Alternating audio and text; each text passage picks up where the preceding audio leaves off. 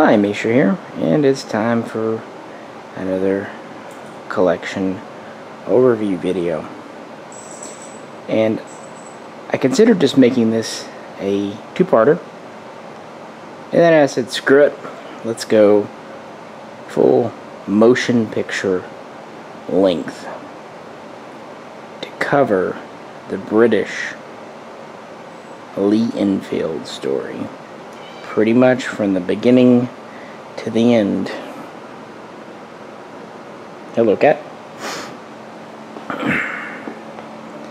And so we will start off with the earliest Lee Enfields, including talking about the Lee Metfords. These would be the, the Long Lees, the MLE, the Emleys, and the carbines, the LECs, the LEX.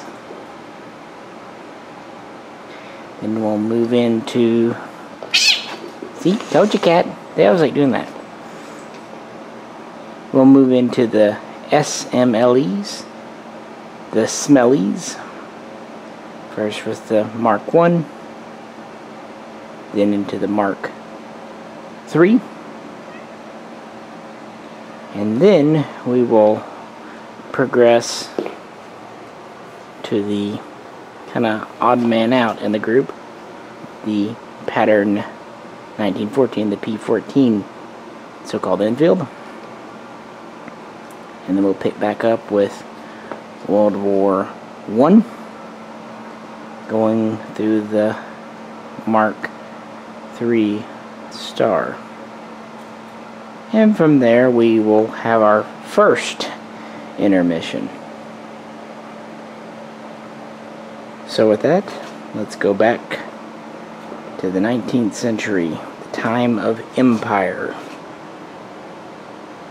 And the time really still under Queen Victoria when the British were at the top of their game. And after using single shot black powder guns, like the Martini Henry and some rolling block types, they were needing a modern, cutting edge, small diameter bore magazine fed, so repeating long arm and carbine for their various military forces. And these would have to serve not, of course, just in England, but in Africa and India, and elsewhere, because back then the sun truly never set on the British Empire. Alright, we'll begin with the oldest. Actually, this is not the oldest, I lie, but nearly the oldest one I have. This is my magazine Lee Enfield Mark 1. But before we talk about it, let's talk about its immediate predecessor, the magazine Lee Metford, shortened to MLM. Not not that MLM that you think of today, but the, the British MLM. In the 1880s, much like everyone else, Britain was going to new technology, and James Paris Lee was at the forefront of a lot of it, and he did a lot of work with magazines as well as other things, including bolt systems. He had already had quite a bit of success, and so his attention was turned to the British. Now, in 1885, the development was ongoing for what would become the Lee Metford. Black powder was still the same. At most, you had compressed black powder flakes, sometimes referred to as semi-smokeless later on, that predated cordite. So they were designing a new small bore cartridge for the best black powder they had at the time. This would have been a 3 03 caliber, 7.7 millimeter, a rimmed round, round nose bullet, pretty standard for the day and time. and the rifle was designed around this. And it used Lee's bolt system that locked in the rear with a pretty short throw, and it used a Lee magazine. Originally, not this one, it used an 8 round, essentially single stack or at least single feed type mag. The rifling was actually designed by a gentleman named William Metford, and it was given a very shallow groove to better work with black powder, or rather, to better be cleaned easily, not leaving you know little nooks and crannies. Actually, not a bad idea for black powder, and black powder was relatively cool burning compared to what would come later, and also the rounds were coming at it at a much more sedate velocity. So it was a good idea. There was another gentleman involved that you don't hear as much about, Joseph Speed. He designed a magazine feed cutoff to go with Lee's magazine. He also designed a top cover or dust cover for the bolt that you wouldn't have to manually manipulate like on Arisaka's. It could uh, just move with the bolt. He did a few things too, including work on sights. But those are the three principal designers, with many others contributing.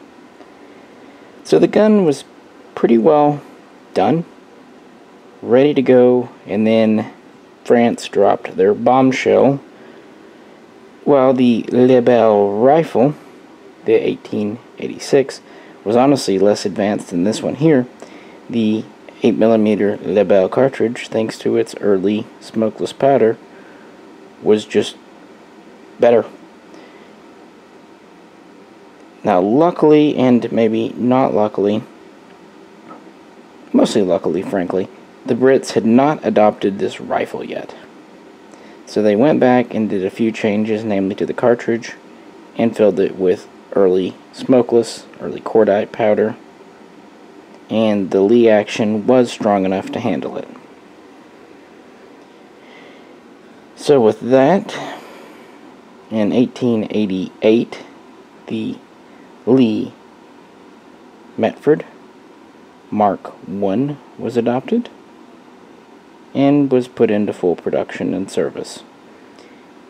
It was very similar to this gun, with the long 31 inch barrel, very slender stock. It actually had a safety in the rear, quite similar to the very later guns, you know, mounted on the receiver. It also had different style of sights. Next to come, at the very beginning of 1892, was the Lee Metford Mark 1 Star, which went to an updated sight pattern. And only about two weeks after it was adopted, the Metford Mark II was adopted. And the big deal with the Mark II, it went to this pattern of magazine you're familiar with the 10 round detaching Lee mag. So two more rounds and it was a double feed style. So if I can shake this out. Now, as you'll notice with any of these early ones, these were chained to the gun. And that was a bit of a compromise because people were very, very worried about this radical high capacity detaching feed clip. Yeah, it was over 100 years ago. It wasn't even in this country, and it was a concern.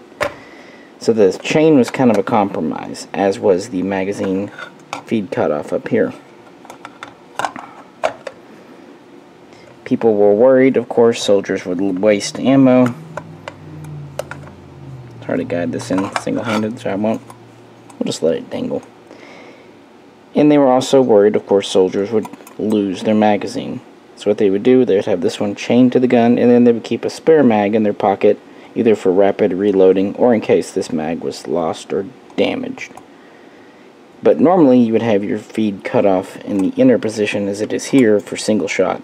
Only if a higher up told you to flip it out and go full 10 rounds would you. It's a pretty common concept for that era. So that was the Lee Metford Mark II. And they were pretty happy with it. But in early 1895, they would go to the Lee Metford Mark II Star, which would introduce this pattern of safety located on the bolt knob, the cocking piece. Originally, the safety was receiver mounted. Then they would actually go to a version without it for a while, and then they would go to this, which we'll talk about why with the next gun. Interestingly, this already had the turn down bolt, pretty forward thinking for that time, perhaps.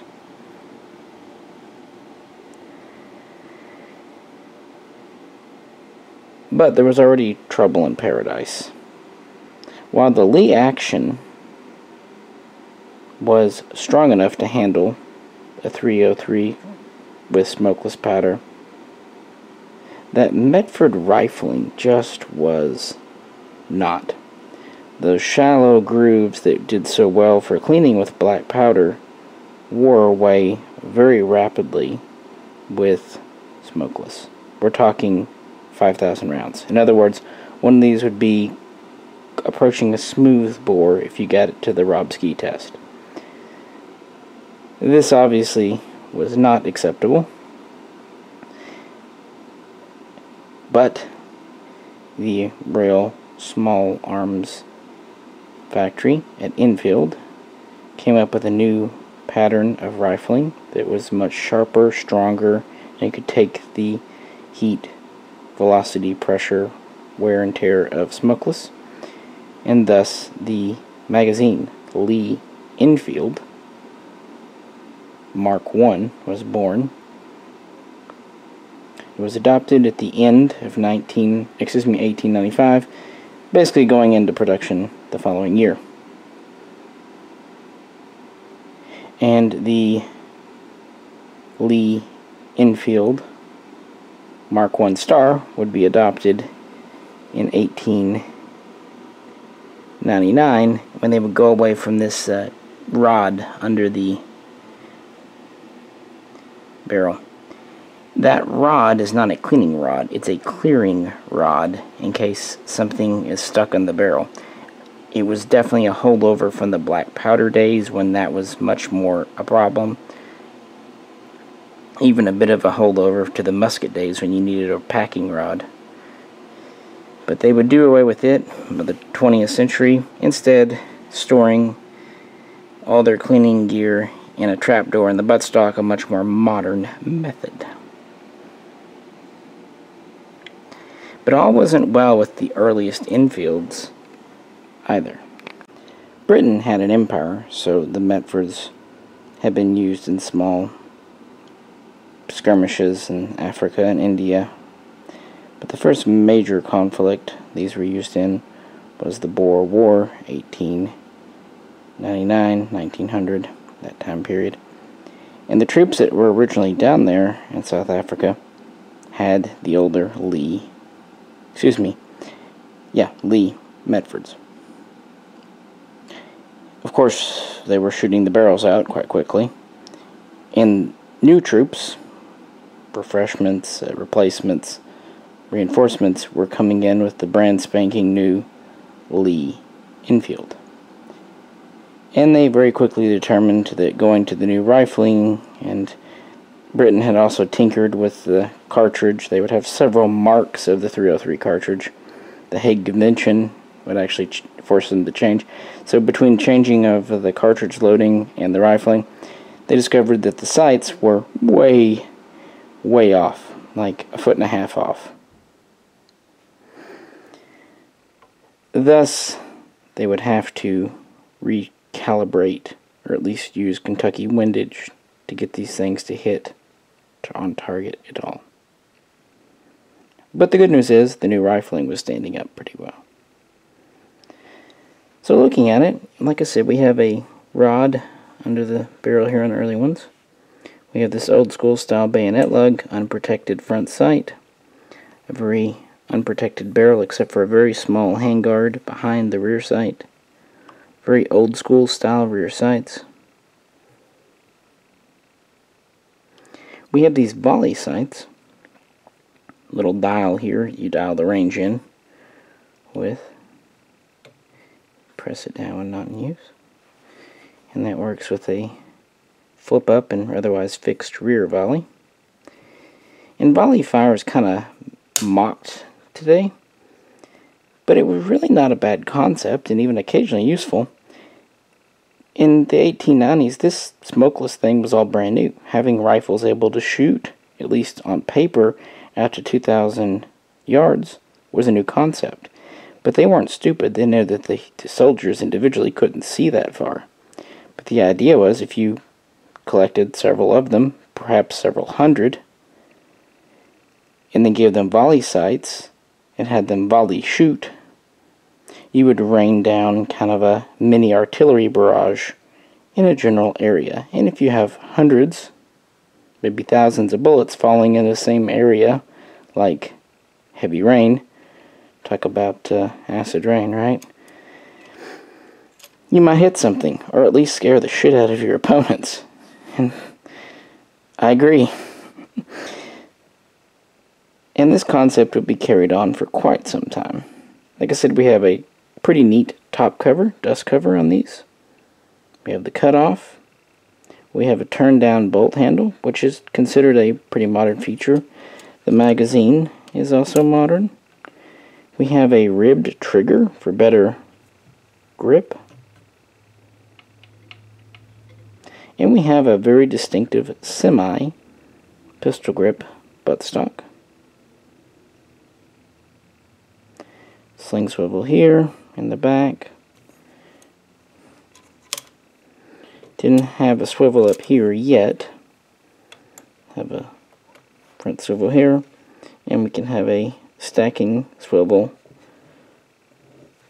stacking rod for the TP up here. So honestly, while the cartridge was maybe a bit traditional, the rifle itself was, was pretty modern, frankly. At least by that standard of the late 19th, earliest 20th century. And also by the standard of the time. You would adopt a long rifle for infantry. But other troops would need something other Following the trends of the time, they adopted a carbine with a barrel about a foot shorter than the rifle. And as with many carbines of that era, it um, did not have a bayonet lug.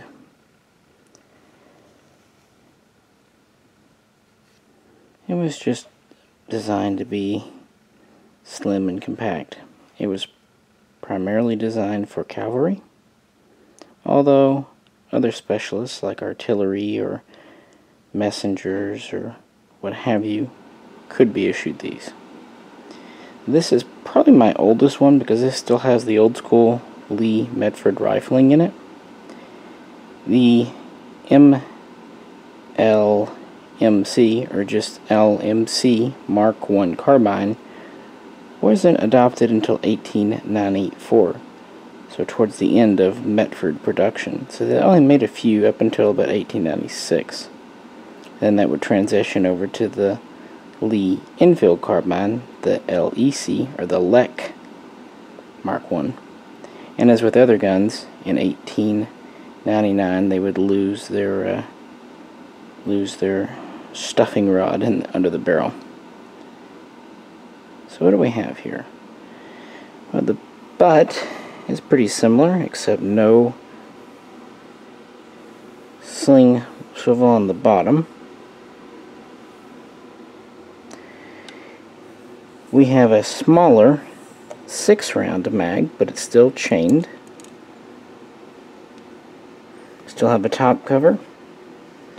Our rear sight is actually protected by a leather cover. No front swivel here.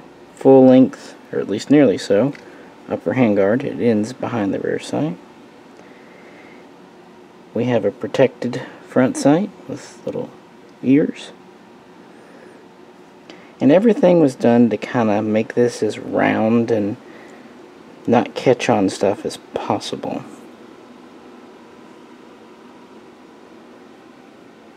Hence why we have a protector for the rear sight. It unbuttons and then you can rotate it around and rebutton it on the bottom. Still have a uh, feed cutoff. We have a very turned down bolt now. This bolt is just right up against the receiver and flattened to boot. And here's the safety. And this is interesting because this cocking piece safety was originally a unique feature of the carbine. But I guess they liked it so much that they transitioned it over to the later Lee Metfords and the early Enfields. Guess why not? Now you haven't seen much evidence of uh, sling mounts. The only one on this gun is this small swivel inlet into the stock in the back.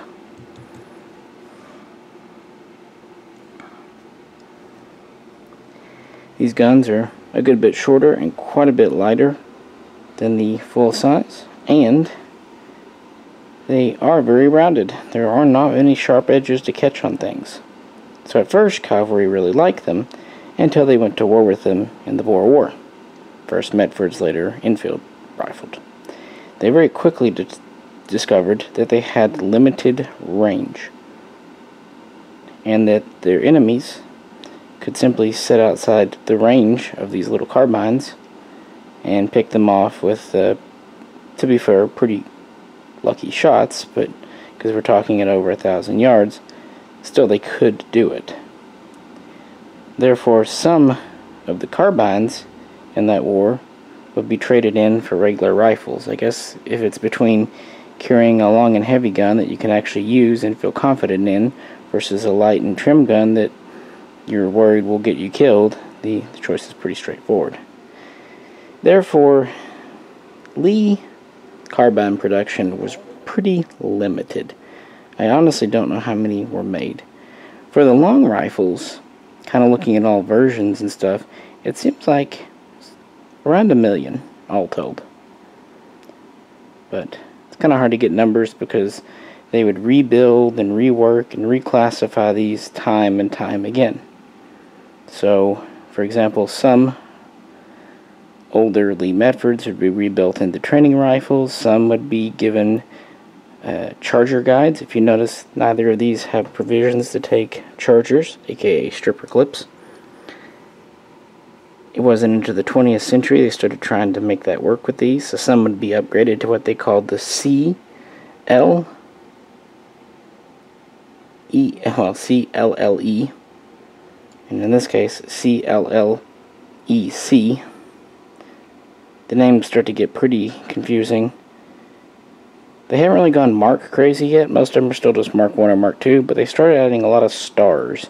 And you also start seeing things like the IP, the India pattern. Yeah. And some variations start to grow out after the beginning of the 20th century. And one popular thing to do with the carbine was to give it a bayonet lug. So just because these maybe didn't have the range and accuracy that soldiers out in the, the field would want, doesn't mean that maybe soldiers stationed in urban environments or, more likely, police wouldn't find it useful. Around 1901, the first contract for this, the so-called New Zealand carbine for a thousand units was placed, and then a second contract for 500 came around 1903-1904. And basically, it's the same gun with a bayonet lug. And you'll notice it doesn't have a hole for the rod now. Moving back here, we no longer have the sight cover we still have the little short mag. Still have the feed cutoff. Still have the dust cover. Still have the very flat bolt. But we finally do get sling swivels. Again, because these are really not intended for cavalry. Swivel up here. like there. And these are purpose built, but interestingly, the barrels in them were actually from Martini Henry carbines. So they're actually a little thicker, a little heavier.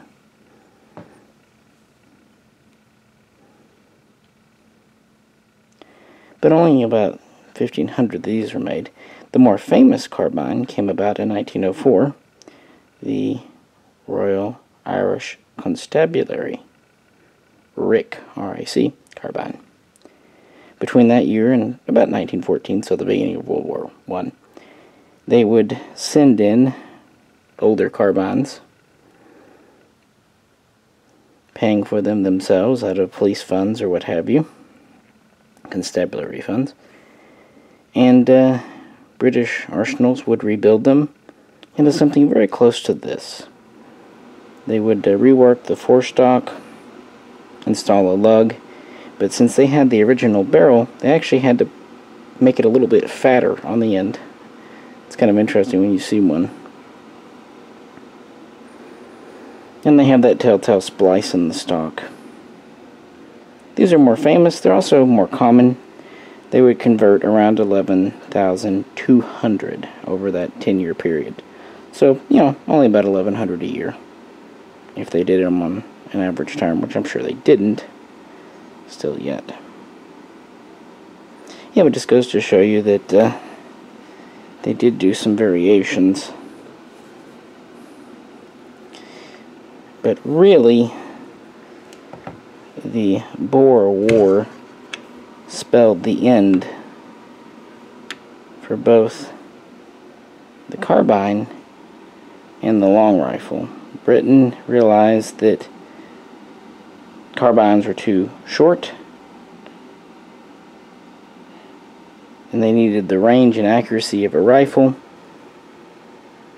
So they started experimenting to see just how short of a rifle they could build without compromising too much range, accuracy, and for that matter, flash and noise. And that gets us in to the next program.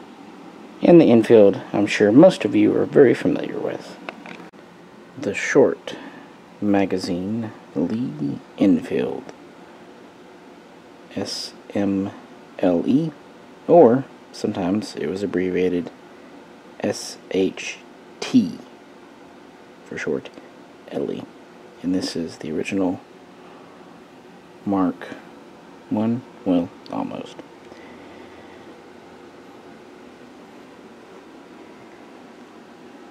As early as 1901, work on an intermediate length rifle had begun with even some early testing of cut down models.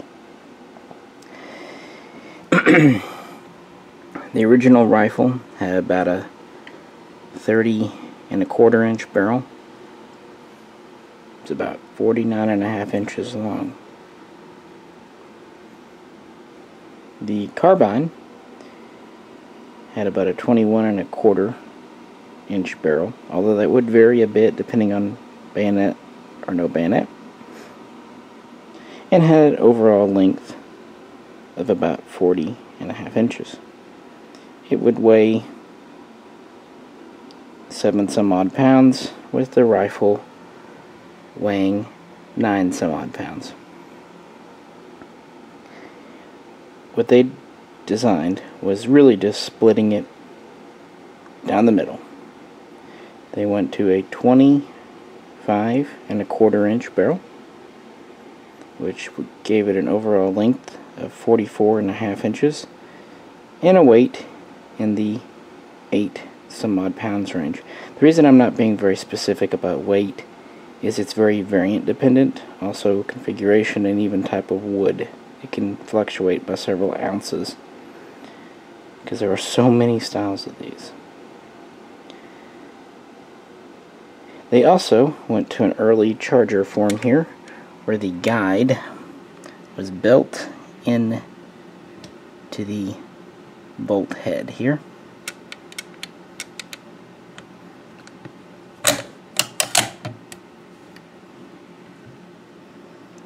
It's a two-piece setup. There's a notch in the receiver that's fixed, and then this moves. And you use your charger there. Still have a mag cutoff, and there is no hold open device. So you can easily close it because it is a cock on close. There's a spring tension there, which I'm not be able to do on camera. They went to the standard bolt of the full rifle. They would go through several iterations of sights. They would go to a full-length upper handguard. Sling swivels would be standard. They also started adding a mount in front of the magazine. The magazine was slightly updated with the biggest change. They finally got rid of the chain, although they still only issued two mags per gun. And they put a secondary sling swivel there. Again, since it was supposed to be a one-size-fits-all, I think the idea was, well, there are four places you can attach swivels, meaning, uh, you know, Army, Navy, Cavalry, Artillery can kind of configure it. Also, a bayonet lug was standard. A new pattern here with the nose. And of course, it has a protected front sight with uh, ears pretty similar to the cavalry carbines, at least in theory and principle. The rear sight's also protected. And it's now a more modern style sight, both windage and elevation adjustable. But we have quite a few holdover features as well. One of the biggest, we still have volley sights. Yay, because volley sights are fun.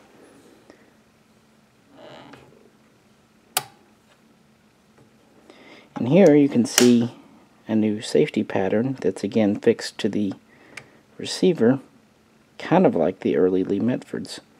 Although the cocking piece is kind of a transitional style.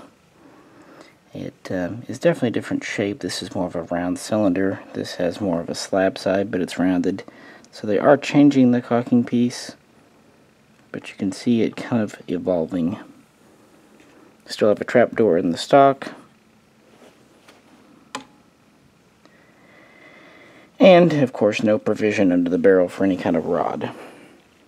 So, they started testing these in 1901, and of course, people were immediately pissed off and disparaging of the new gun.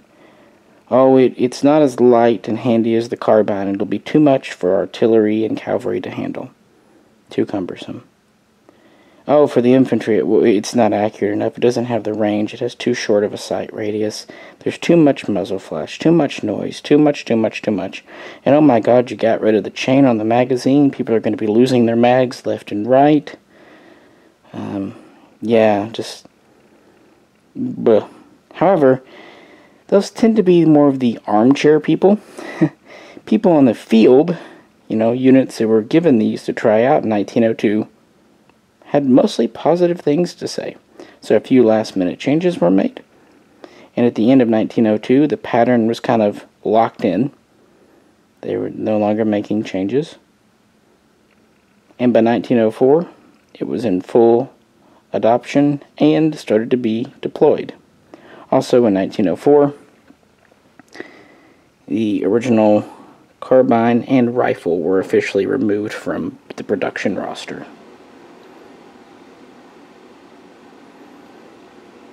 And once these went into service, they proved quite good, but not perfect. They had some weak spots and uh, some failure points. Again, this is the Mark 1. Their attempts to make a product improved version would lead to probably what you have in your gun safe.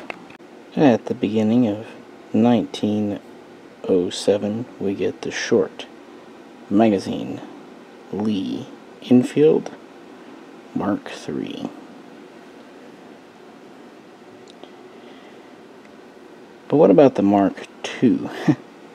well, starting in 1906, they took older Lee Metfords and Lee Enfields and re-barreled rework them to the new Mark 1 or maybe even Mark 3 standard and that's where Mark 2 was used. Converted old rifles. The Mark III really just took all the advice from the field and tried to improve the gun. Still same barrel length, same basic weight and dimensions. They made a stronger handguard and stock, thicker, more rigid. They improved the sight protectors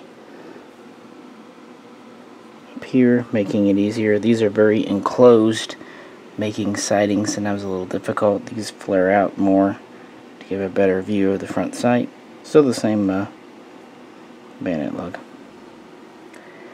Went to a slightly new pattern of rear sight, still windage elevation adjustable. Still have the mag feed cutoff.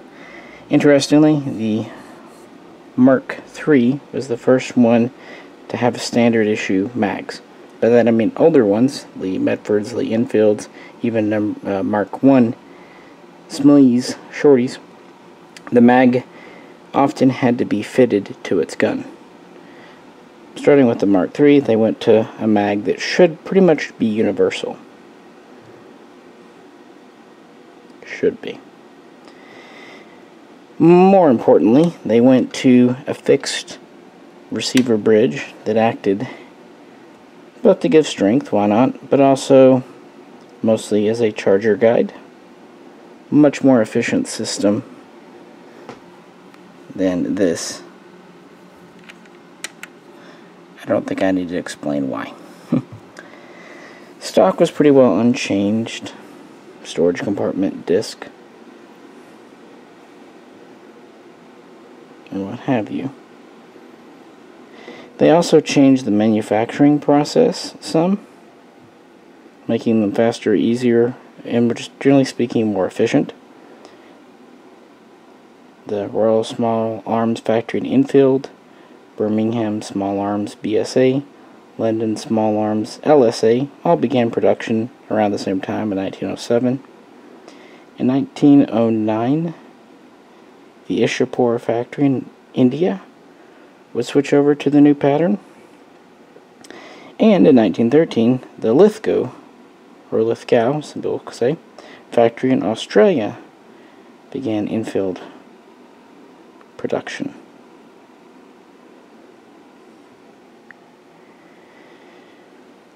Now you'll notice Canada does not have production. That's because at this time there was a dispute about giving the Canadians license to produce and they ended up going with the Ross rifle. And for that, you can check the playlist. We've done a couple of videos on the Ross. So, I considered putting it in this video and thought, nah, going to be long enough already. So, well before World War I, the improved Mark III is in service, and it was designed with the thought to going to a new Spitzer bullet. France had adopted it a few years earlier, so they knew it was coming. It wasn't until 1910 that the Spitzer cartridge for 303 was finally adopted, and it was not a boat tail, it was a flat, a, a flat butted bullet early on. Later in life, they would go to a boat tail. And so the Mark III was the one designed specifically for this. Now, 1910 was pretty early in this gun's production run, so most of them were made with that already in mind. The ones that were not were brought back in and given newly calibrated rear sights for the new Spitzer bullet. And, that's why I was saying earlier about these and sights, some older guns, SMLE Mark 1s, were brought in and upgrade, given updated sights for the Spitzer bullet as well.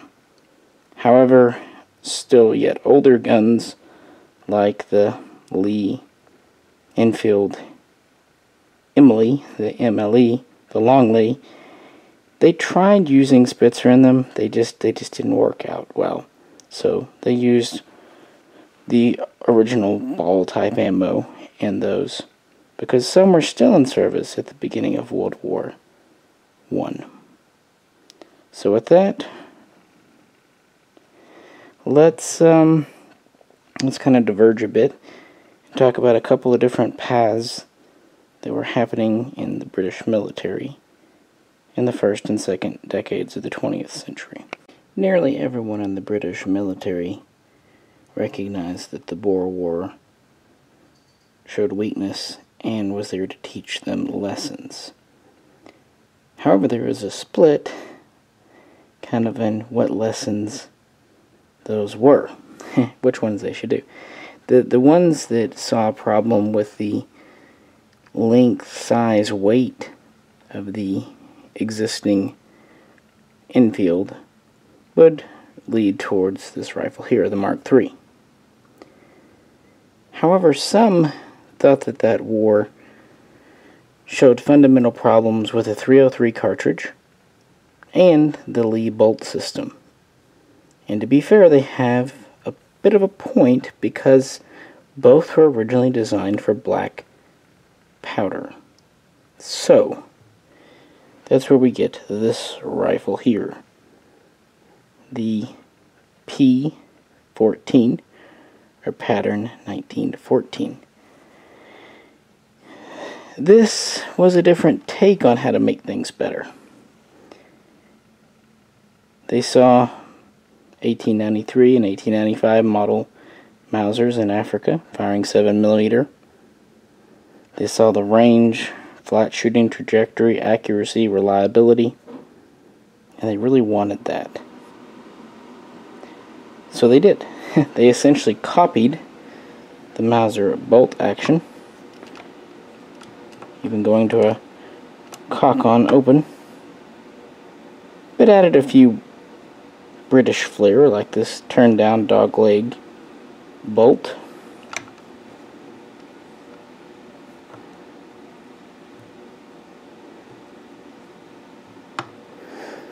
They also kept their safety, although they, uh, they did move it to the right side. And they kept their stock and grip design. They also really wanted to challenge the 7mm 7x57 cartridge. And they came up with .267 British, which was basically a magnum round. It would also be rimless versus rimmed like the 303, so a more modern round.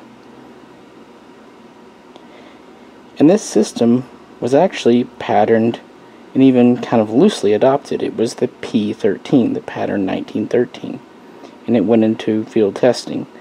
Although not dissimilar to the Lee Metford years earlier, they found that the very hot round was wearing out barrels and leading to overheating. On the other hand, they did prove that this action was strong enough to handle it and that these were actually quite accurate guns. But the war got in the way. Could they have fixed the problems with the P-13? Yeah, probably. But World War I happened. So, to get it into production quickly, they reworked it to fire the standard 303 round, surmising that even though the round was obsolescent to them, the uh, new action and longer barrel and everything and better sights, because now we have a rear-mounted peep we'll get to in a minute. Anyway, all the other advantages would still be a, a better gun. So, quickly reworked to become the P14, and initially Vickers in England was to produce these, but Vickers did not have any capacity to do so. And that's why the P-14 would end up being made in America. Winchester and Remington were originally contracted to make these. And, to make sure they delivered enough, Remington would set up a third factory, a subsidiary, at Eddystone. So they'd get all the tooling and stuff over, and by 1916 these would be in production. So yeah, let's take a closer look at this. The P14 has about a 26 inch barrel, so slightly longer than the Mark III. Has an overall length of about 46 inches, a little bit more, so slightly longer. But it's quite a bit heavier, about a pound heavier, It's just under nine and a half pounds, give or take. And that's again because it was designed for a Magnum cartridge, so it has a very heavy receiver, very reinforced bolt, and a very solid, this is a very durable stock. Has a full length wood handguard, protected front sight, bayonet lug, swivels. Still have volley sights, because that's still a thing that the British want. No feed cut off, but we do have a last round hold open follower, Mauser style. We do have a five round, or in the case of the 1917, a six round internal double stack mag. Mauser style. Like I said, we have a new tangent or adjustable peep rear sight. Much more effective for battle situations with a longer sight radius. And we still have a storage compartment in the buttstock.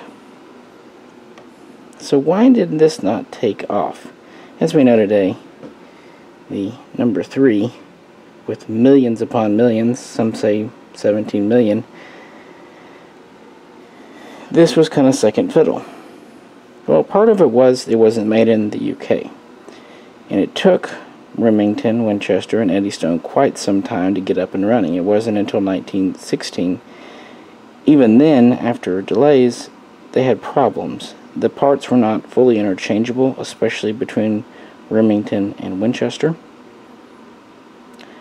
and they found some minor function and mechanical problems which actually led to the P14 Mark I Star at the end of 1916 which modified the extractor, the bolt lug, and therefore the end of the barrel slightly and unfortunately the older Mark 1s couldn't be updated to the Mark I Star but the change was minor enough it wasn't critical and they, they once they got up and running they built these. They built over 1,200,000. And many got shipped to Britain. Not every single one, but most. And they were promptly put into storage. Because for 1916, 1917, the SMLE had been well proven under fire in the trenches, it was a trusted rifle. Its previous naysayers had to shut up because it worked. Maybe on paper it shouldn't have worked as well as it did, but it did, and the British soldiers became quite fond of it. The P-14, on the other hand, kind of lost something when it went away from its Magnum cartridge. It also has half the ammunition capacity and again it weighs a pound more and is a slight bit longer and bulkier. It was more accurate and these were used as kind of de facto marksman, even sniper rifles. And that was kind of maybe their main claim to fame in World War One. But all in all, they mostly were just given to reserves and eventually would make their way to things like the Home Guard. And of course this would give birth to the American, or US, model 1917 Enfield. Which again, I considered putting in this video, but were long enough. Suffice it to say, it was essentially this gun, but chambered for 30-06, and with a slightly different stock, and no fun little volley sights. So, a good idea. Some even call it the most advanced bolt action of World War One. I'm not saying they're wrong. It does combine a lot of the best features of several guns, namely the Mauser and the Enfield. But on the other hand, the Enfield over here proved to be plenty good enough, and steps were taken during the war to further improve it, both for mass production and for the soldier. In 1915, after a year of hardcore fighting and many losses on the front, designers, builders at Enfield and BSA started looking at ways to increase their production and use less resources. You know, originally they thought the Great War would last six months, maybe a year, but it was clear this was not happening. So, at the end of 1915, the SMLE Mark III Star appeared. And the very first company to start removing features was BSA. And the very first features they removed were the volley sights. This was a good call because trench warfare, unlike maybe some of the fighting down in Africa 15 years earlier, they weren't necessary and you could save a lot of resources, not just the sights themselves, but the mounts, the screws, the springs. You remove several parts. The next thing to go, a very short time later, was the uh, magazine cutoff. Again, you're removing a major part, also some springs and things, and it wasn't really needed. And that's why this rifle here is either a late Mark III or a very early Mark III Star, because it has no volley sights, but it still has the mag cutoff. In 1916, Enfield and Ishapore would start adopting many of these shortcuts as well. The next thing to go would be our windage rear sight. There's a little wheel on it. Oh, it's on the other side. Sorry. Anyway, we got the windage rear sight gone. Again, it wasn't necessary. In fact, most of them ended up staked in place. This one might not even be, I'm not sure because they didn't want soldiers fiddling with them.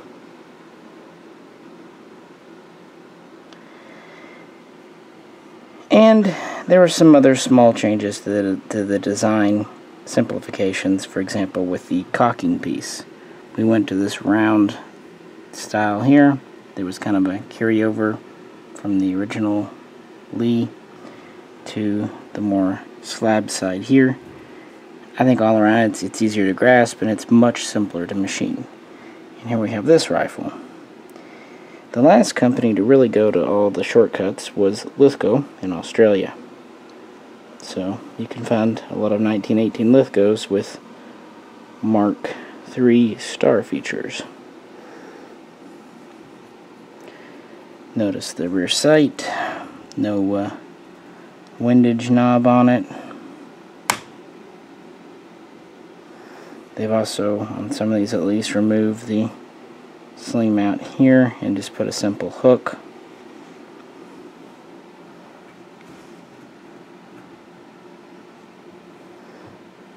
They've also changed the front sight a bit, simplifying it, the holes, how they're drilled.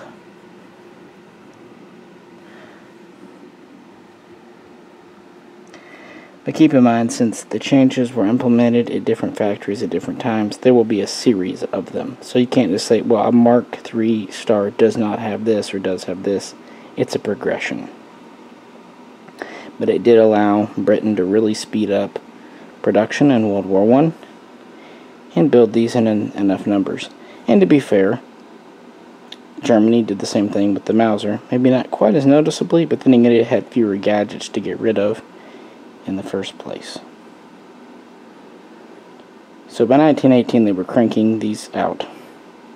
We had Enfield, LSA, BSA, Ishapore. They even tried what was called the peddled scheme, which is basically putting these together at companies like SSA from parts sourced elsewhere, but while a few were made, and I've even had a few peddled scheme guns, it was not successful. They didn't make that many. It just it didn't didn't shake out.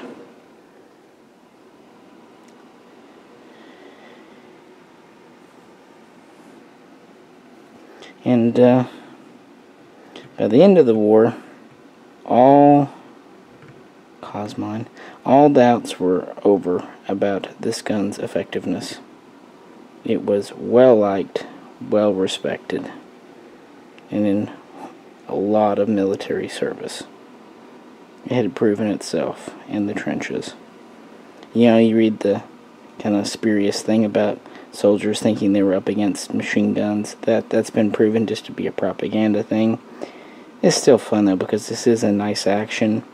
The uh, turn down bolt and the short throw and the uh, 10 round mag do have some advantages. And while 303 and the Enfield for that matter aren't exactly the most accurate, 303 because it's a rimmed round and whatnot, the Enfield because actually because of its design being a rear locking bolt back here much like the uh, Schmidt Rubin we talked about but it is strong enough for 303 it was a good enough rifle and a very British rifle for the Great War and it has become a uh, national icon. Like I said, the, the original Long Lees and even a few carbines were serving in 1914, but these were very quickly pulled out of anything like frontline service by 1915 and pretty much officially retired out. However, they weren't officially officially retired out until 1926, but for the past 10 years they were basically just in, in stock piles and they, yeah. And Britain would continue to improve its uh, 303 bullet, going through several other marks, including different things like tracers and trying some armor piercing stuff as well. But finally, we get to November, end of the war, armistice, peace talks, Treaty of Versailles, and then we lay down our guns, all quiet on the Western Front. And at that, let's take a break for tea and crumpets. Phew, we survived the war. Out of the trenches, and Tommies are, are going home, and we're going to get into the roaring 20s with booze and women and things. What kind of tea are you going to have? I like Earl Grey. Caffeine, good. So yeah. Comment in the chats below what your tea preference is. So then go make it, drink it, and then resume the video. And we'll get in to the interwar period and what was next for the Lee Enfield because honestly its story is just getting started. There are millions in the world and they have a lot more to do in history. So, we've done the Treaty of Versailles. We're into the 1920s. We've done the Washington Naval Treaty. Budgets are cut, but the fine folks at Enfield still want to improve their rifle. Well, I hope you get some refreshment. And with that, we'll move on to the interwar period. And you'll have noticed I had not put away the P-14, even though it only saw pretty limited use. It did show the British something, and that directly led to this rifle, the SMLE Mark V, often called a trials rifle the truth is a little more convoluted. They essentially wanted to try to squeeze more accuracy by going to this rear mounted peep sight but on the Enfield. So they made this pretty fancy complicated version here. It's very easy to adjust They also went back to the feed cutoff with peacetime, although the volley sets, they're gone forever now. The number three Still, the handguard wasn't as strong as they would have liked. So they did add a third band. Well, you have the front and the middle, and then yeah. That was to try to give it strength, especially for bayonet use. And to make up for the band and the rear sight mounting. Notice how this is gone here. They also tried to give the receiver some lightning cuts. And they hoped not only to improve accuracy, but to continue to streamline mass production and make this cheaper to produce than at least the Mark III, if not the Mark III Star. And so they, they designed this around 1920, 21, and the first ones were built around 1922. And they quickly realized not only was this not cheaper than the Mark III, it was actually more expensive because they were taking an existing design and really trying to modify it into something it wasn't. Between that year and about 1924, they would build between 20 and 22,000 of these, which seems like a lot for a trials gun. But the truth is, the budget. The government would not pay for brand new rifles, considering that they thought the Army had enough, even though they weren't really crediting the fact that many of them were worn out from World War One. They said, now you got enough, make do. But they did allow for research and development. So they kind of pushed that as far as they could to get, you know, 20 some odd thousand new guns. And enough to at least equip some frontliners, and enough to really put these in the field and see if the extra cost was uh, was worth it. The Mark V had better practical accuracy. By that I say a peep sight like this in the rear does give a longer radius and makes quick shooting in a combat situation faster, although as a target sight it's not as good perhaps. It's not really windage adjustable, just elevation.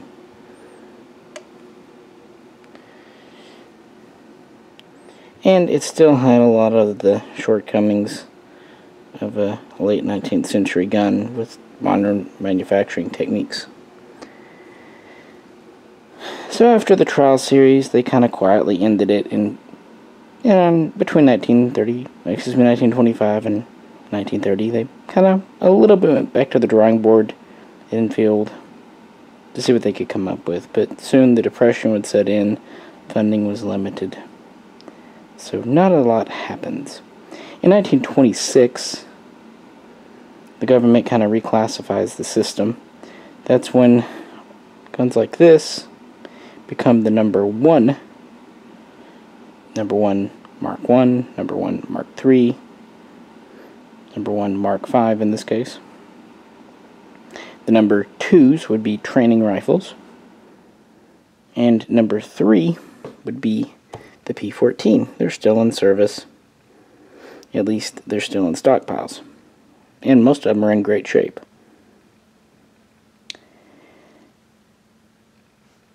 And this is, like I said a minute ago, also when all the older guns were officially retired out. Just declared 100% obsolete. No, no way, no how. In 1930, a small production run was done at, at Enfield known as the number one Mark 6. They would build about 1,025. And they started off with the rear mounted peep, but they went to a new, heavier, and free floating barrel to try to squeeze that accuracy out. They were kind of deciding that lightweight wasn't as important as accuracy to them at this time. And it's from this, although it took a very long time, that our next rifle would uh, kind of grow out from. But before we go there, let's just mention that in 1939, really right before Germany declared war, well, okay, Germany invaded, you know, you know what I mean. The number threes were put through what was called the Weedon Repair Program. Any rifles that had busted up stocks would be given new stocks. They would all be removed, relieved of their volley sights, and most of them would get a new phosphate Parkerized type finish. And this was kind of a, a Weedon repair standard. And these guns were intended to be issued to the Home Guard, although some were given to French allies, and some would make it down to North Africa and fight in the desert early in the war because, as usual, Britain's next rifle was a little late in coming. So the, uh, the number 3 was in service, if mostly second line, throughout World War II, and it was not officially declared obsolescent until 1947. And with that, let's move on to the Second War. Yeah, the first one was supposed to be the war that ended all wars, but because of the Treaty of Versailles, it was really the treaty that ensured there would be another war. And even if the budget didn't allow for it, even if Britain didn't want it and wasn't ready for it, it was coming. And thus we come to the Lee Enfield number four. Like I said, they did the Mark 6 in the early 30s. And they actually ended up, at least on some, using a very heavy barrel. It backed off from that a bit kind of found the balancing point. But Britain was not ready for war, and so there were other priorities. It would not actually be until after war was officially declared that the number 4 would go into trials in late 1939. And then it would be kind of classified, typed as the number 4 Mark 1, and officially adopted in 1941. But at that time they were poised to make a bunch. BSA opened a new factory, factory, there we go, factory at Shirley. This is the M47C code. You also had Fazakerley and Maltby opening up in the UK. Now, interestingly, Australia and India did not switch to the new pattern. They continued making the number one Mark III. So what do we have? Well, it's slightly longer, and you can really see the P14 influence. We have a longer, heavier barrel, not a whole lot longer, about 26 and a quarter inches. It is heavier, and they did what they could to try to free float it. We also have a new rear sight, adjustable.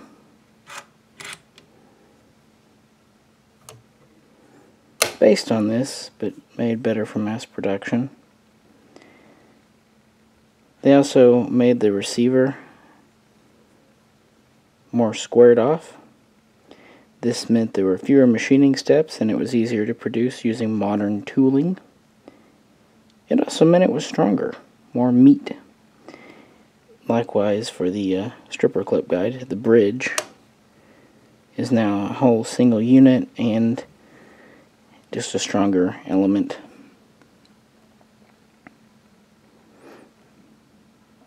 Of course, all these changes added weight. This was uh, over 9 pounds, not as heavy as the P-14, but a little over 9 pounds. And to help with the soldier, they went away from kind of the sword type or blade bayonet originally used to a very simple spike or short blade bayonet for the number 4. So that made the kit a little bit lighter. They also slightly changed the magazines, although they're pretty interchangeable nevertheless.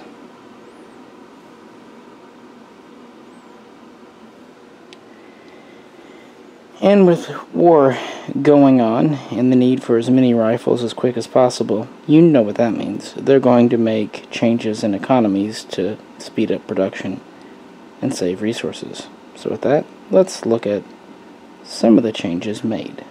One of the most noticeable parts to be impacted, in fact they used at least four versions, was the rear sight. Originally, they had a very fine machined micrometer adjustable rear sight. But very soon in England, they would go to this stamped sight, and there's several versions of it. And Canada would also have a stamped sight. It was decided in 1940-41 that production would be undertaken at Long Branch in Canada and also under contract in the USA by Savage. And Long Branch would start making the number 4 Mark 1 pattern, but very quickly the two North American companies would go to the number 4 Mark 1 star. And now, a lot of people think it's the rear sight. Like this has just a simple two position rear sight here that makes a Mark 1 star, but it's actually not that. It's this. The spring-loaded little button. That was one of the changes done for the number 4 Mark 1 over the original Mark 3 number 1 to get the bolt out. Well, with the Mark 1 star, the number 4 Mark 1 star, that's gone. Instead, there's actually a cutout in the rail here for taking the bolt. And that small little change saved quite a bit of time. You save a full part, it's spring, retention, and that's what makes a number 4 Mark 1 star. However, plenty of other economies can be found. Some of them were even made with uh, two groove barrels.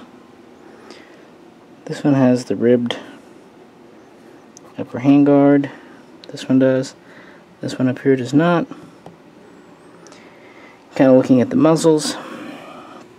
This one has the machined front sight. This one does too, front sight protector I should say. And this one has the stamped. Also the end caps are different. These are closed, whereas this one has an open end cap. This one has a stacking swivel.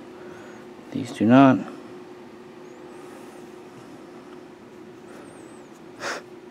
We'll see more stamped parts appearing.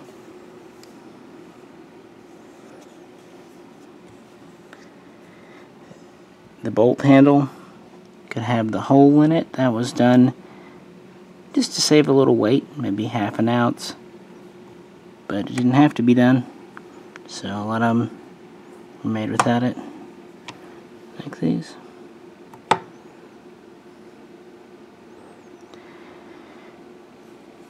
The trigger too, like this one has a flat faced trigger, whereas these have the ribbed trigger, as on earlier Enfields.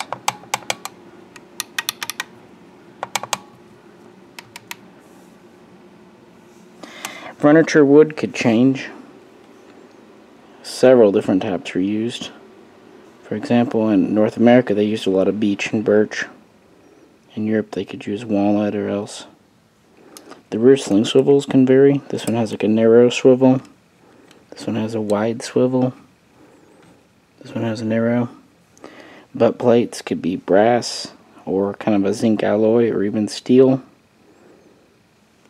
Finish could be blued, phosphated, painted. They were just trying to get them out the doors. And of course each factory might do it a little differently. And of course today, keep in mind that many of these have been rebuilt and refurbished, so it's not always possible to know the original parts. But we know the original makers. And, uh, yeah. The, uh, the factories in the UK North America cranked these out. But again, Australia and India did not.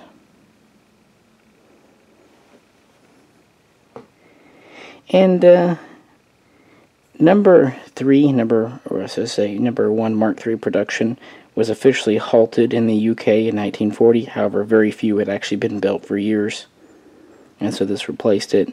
Early in the war, you could see P-14s or Mark IIIs, maybe even some Mark 5s if they were needed.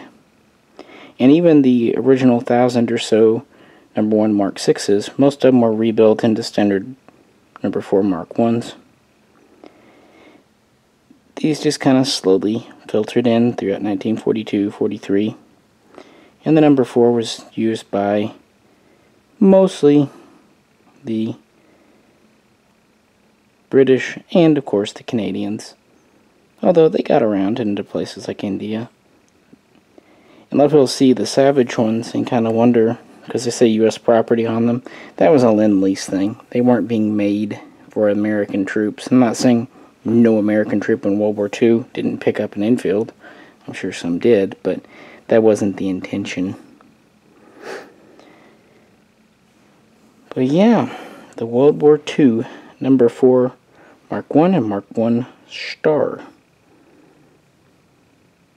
It's worth pointing out that in 1944, the British government, the bureaucrats, again made a kind of a nomenclature change Instead of using Roman numerals at the end, they went to an all Arabic. So instead of number 4 Mark I, it would have been number 4 Mark 1. Again, bureaucrats doing the bureaucrat thing. But that does explain the, the naming system as we go forward after World War II. I want to stop and kind of talk here a bit about the gun. It does look different, but really, it's the same Lee action we've always had. Rear locking, cock on close, removable head, 10 round detaching mag. Even the stock hasn't changed much. And the receiver, while it's become more square with the number 4, it's not that different really. Most of your changes are with your barrel and handguard to make them stronger and simpler to produce. It's amazing that this action, developed in 1885, thereabouts, was still having new versions introduced in 1940-1941 and still very much in production. And these would not even be the final versions. Actually, not by quite a bit, to be honest. So with that, let's talk about late war and post World War II Enfield service. And here we have them flipped over. One nice thing about the cocking handle of the Enfield, it kind of works as a gun rest. You flip it up. up on the top we have a Fazakerley number 4 Mark 1 here we have that long branch number 4 Mark 1 star. And down here we have what was once a number 4 Mark 1 and is now a number 4 Mark 1 slash 2 Like I said, in 1944, the British bureaucracy, the B, changed to full Arabic numerals. So the next version would not be the Mark II, but rather the Mark II. But it would not come until after World War II. They made a good number during the war. At first, it was kind of seen as a wartime expediency, much like the Sten gun. It's not as refined in the stock, even though the stocks are probably stronger, well, definitely stronger, than a number 1 Mark III. They don't have that elegance, the, the way the barrel sticks out, and definitely the bayonet arrangement. You go from a sword bayonet to kind of a socket spike, and then late in the war, a socket blade. And the way the receiver is all squared off but the better accuracy, quicker, easier to use sights, and just dependability won most soldiers over. Keeping in mind, by 1944-45, British soldiers are being issued with a bolt action originally designed in the 19th century at a time when more and more countries are using self-loading rifles, and even a couple, Germany mainly, select fire like the MP44. You know, you got these Brits going along, and the uh, the Americans have M1 carbines, and even worse for the Brits, M1 Garands. Obviously, generations ahead. Even the Russians had the SVT-40, although by this time it was kind of gone. Now, I haven't talked about the sniper rifle variants. That's just not what I collect. Sorry. Number four, Mark 1Ts. So, after the war, first off, Long Branch continued production. Wait, sorry, wrong one. Long Branch continued production. They would not end it until the 50s. I've seen a few different dates thrown around. I think the latest I've seen is at least 53 or 54. Obviously, Savage would have stopped at the end of the war because they weren't for America. And uh, while they would stick with the number 4 Mark 1 Star in Canada, they would do a little more refining, you know, nicer looking wood going away from some of the stamped parts they had to go to during the war to back to machined, going to more adjustable rear sights as opposed to the little flip. And interestingly, Canada would not go to a brass butt plate later. They would actually go to a blued steel versus the zinc alloy. In Britain,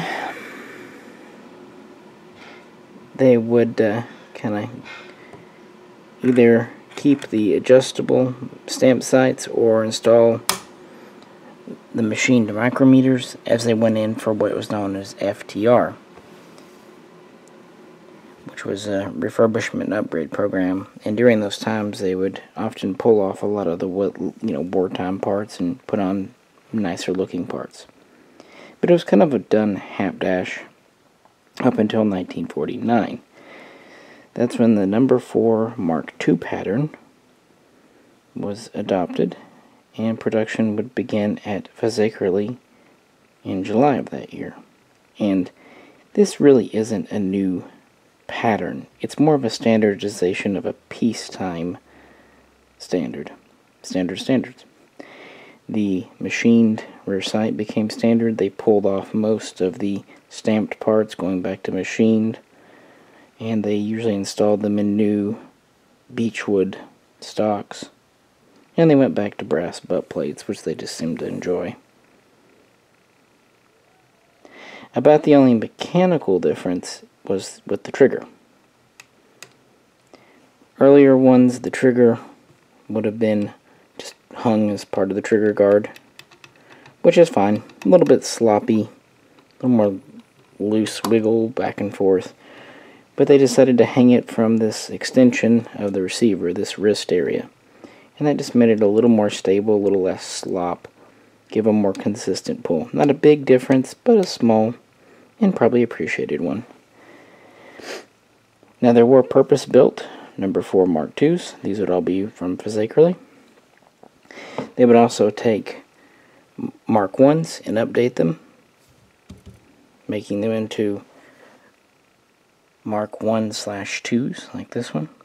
And they would also take Mark 1 stars, updating them to Mark 1 slash 3. In this program of new rifles and refurbishing updating old ones would continue at Fazakerley until about 1955. It was done at a slow, steady pace. The truth is, they didn't need the rifles, except for maybe perhaps you could argue during the Korean War, although they still had plenty. It was mostly a make work program, giving British citizens something to do, and also updating hastily produced rifles made during the war to something of a respectable standard. If they were going to have a bolt action, damn it, they were going to have an attractive looking one at the very least.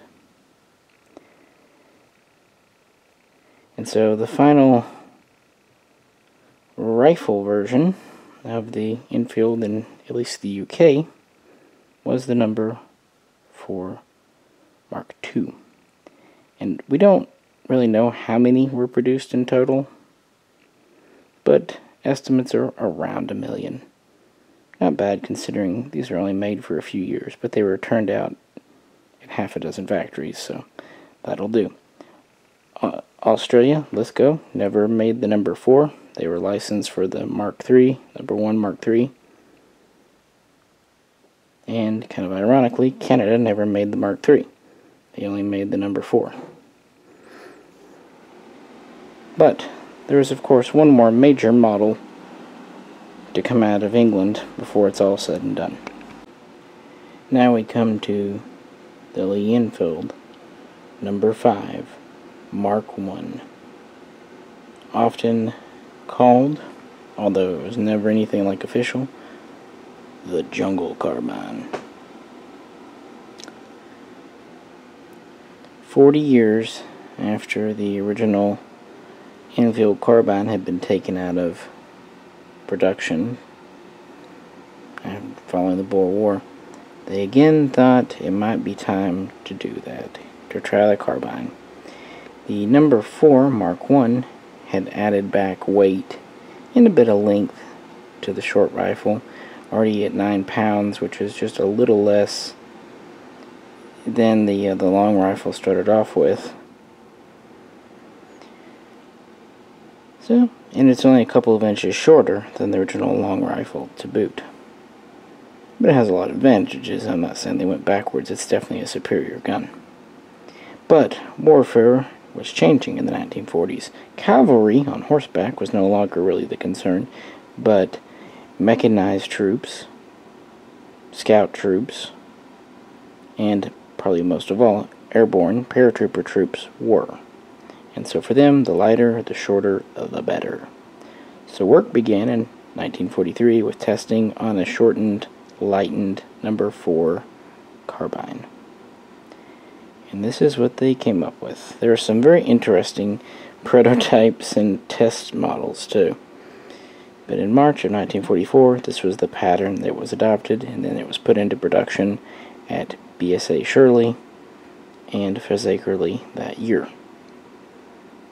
and they, they were originally first handed out to airborne divisions.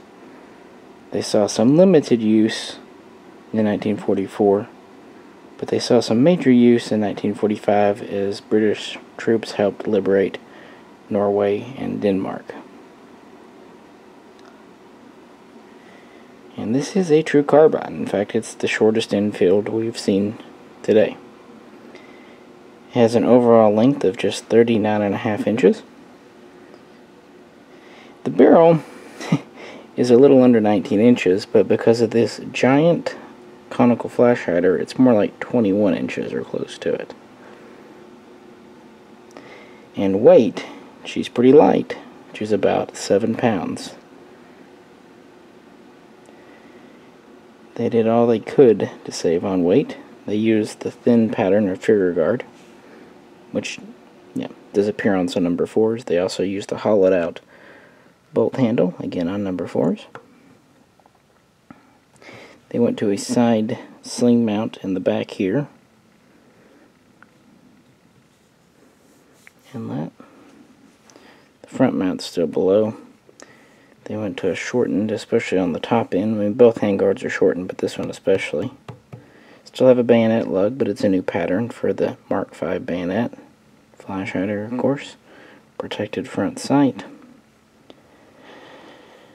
And we, because we are a carbine and they're realistic, the rear sight only goes out to about 800 meters or yards, I forget which, whereas the number 4 goes out to 1200. So, shorter rear range rear sight. It's funny, in the Boer War, a gun that couldn't get out at least a thousand yards was considered a failure, and in World War II, 800 yards, meters what have you, is pretty much maximum range. Again, just changing warfare. That said, we still have the Lee bolt system and Lee magazine. In most other ways, this is a number 4, just shortened. So yeah, these were in full production at two factories. But much like with earlier Lee carbines, it wasn't long before soldiers started reporting problems. And let's compare it with the Enfield carbine, the New Zealand again. Why not? Since they're more of a piece. Both have bayonet lugs. The jungle is just a hair shorter.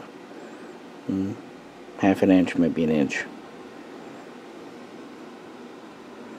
Maybe just a little bit lighter too. Hard to say. They did all they could to lighten it. They added lightning cuts to the receiver. They also put some pretty major lightning cuts on the barrel under the handguard. If you are ever looking at one of these and are concerned it may be a fake, just pull off the handguard and look. The barrel will have lightning cuts. And uh, also if it's based on a number one Mark III or something, it's a fake. Australia did make some prototype number one Mark III carbines, but they're very rare, and yeah, it's probably not what you're seeing. But a lot of U.S. companies like Golden State made plenty of faux jungles out of number one Mark IIIs. So, caveat emptor, guys. Know what you're looking at. So they did what they could to remove weight from the barrel, the receiver, the bolt, even the trigger guard. They also shortened the stock. Interestingly, some like this one have a metal cap on the end, and others just kind of the wood ends. Short upper handguard. And to try and help with what they knew would be bad recoil, they added a relatively thick rubber butt plate. It wasn't enough, not nearly, but they tried. That also meant this is one of the few Enfields without a trapdoor in the stock for its cleaning accessories.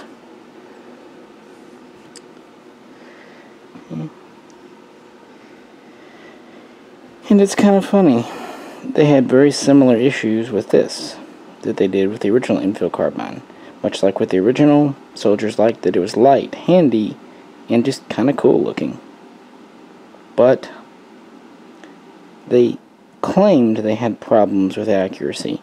Now, on the original carbine, it was pretty much put down to the sights and the short barrel. On this one, it was put down to a wandering zero. You can go back and forth in, in other videos we have about the validity of this, but it was certainly a common complaint. Also, as with the original carbine, this one was felt to have too much recoil, and even with this flash hider, it had some pretty noticeable oomph. And keep in mind the 303 that these were firing in 1945 a modern Spitzer boat tail bullet. Very different from the round nose early 303 versions that would have been used in a carbine like this. So, I'm not surprised. Not one bit. Because of the complaints and because of new government in the UK and the end of the war, they decided to halt production in November of 1947. So my gun here is a relatively late example from Fazakerley, I believe. They would build about 250,000, just over 80,000 came out of BSA Shirley, and just under 170,000 came out of Fazakerley, meaning that Fazakerleys are definitely the more common but with only a quarter million made, this isn't exactly the most common gun anyway, because even if production ended in 1947, these went around. The British used them for a while, then they get handed off to allies like India, and so some of these come in looking pretty rough, and a lot of them eventually did see service in the uh, Pacific and tropical environments, and well, you know what that does to metal. Now, as the British started to do late in the war, and of course a lot after the war, they did give them a painted finish, Suncorite, which does help a lot with protecting against rust. But it's not foolproof, of course. And with that, the last major version of the Enfield ended in the UK. There were plans to do a number 5 Mark II. It was to have a trigger hung from the receiver extension like the number 4 Mark II. It was also to kind of do away with some of the lightning cuts on the receiver. This was hoped to maybe check recoil a bit and maybe address that potential wandering zero problem. But again, that was a bit of a gremlin problem that was hard to replicate in a controlled test environment. Personally, it might have happened, but I think a lot of it was it's frickin' 1947 and they're trying to issue British troops bolt actions. And this is Britain we're talking about. They're supposed to be at the forefront.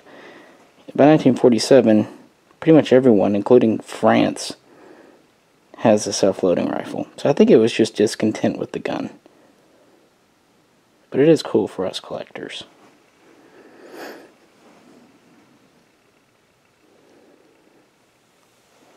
And with that, in the end of World War II, and before we tackle Korea, let's have another break. How about uh, scones this time? So, what flavor, what kind of scone are you going for? What is one of your favorite snacks? Pastries? Hmm, post them in the comments. Why not? Yeah, we kind of covered uh, the Enfield. It trucked right along through World War II, and not just in England, but a number of nations. They even roped America into producing rifles for them again during the war. And history kind of repeated itself a bit with the number 5. And it's amazing that they were still producing these before, during, and after the Korean War. But of course, finally, they would end production in most places, but not all. In fact, there were still a few variants, pretty major ones, left to be created. So, let's get into the Enfield in the Cold War. And this is where the Enfield design saga kind of ends. Not in England, not even in the UK, but in India, which is perhaps fitting. The Ishapur factory was one of the earliest builders outside of the UK. And here we have their 2A1, which is based on their version of the number 1 Mark III, sometimes referred to as the Type 56, which is a further simplification of the base original gun there is one major difference. This is chambered not for 303, like every other one we've seen, but for 308. 7.62 by 51 NATO to be exact. And this required quite a few alterations, more than you might think. And it's also worth pointing out that all of these were purpose-built guns. They were not conversions. If there were conversions, they were just done early on for uh, like trials, testing, that kind of thing. So, you know, general specs are the same. It actually weighs just a little bit more than a standard Enfield. Nine some odd pounds. Same overall length though, same barrel. The changes are mostly internal. For example, of course, the bolt head and everything had to be reworked, the extractor to work with the rimless or recessed rimmed round. And the receiver had to be made out of a much higher grade, more modern ordnance steel. The Enfield action was strong enough to handle 303 smokeless, but as it is, the steel originally used was just not strong enough to handle a steady diet of 7.62 NATO. So they went to stronger steel. It has other simplifications that you would expect from a late production Indian.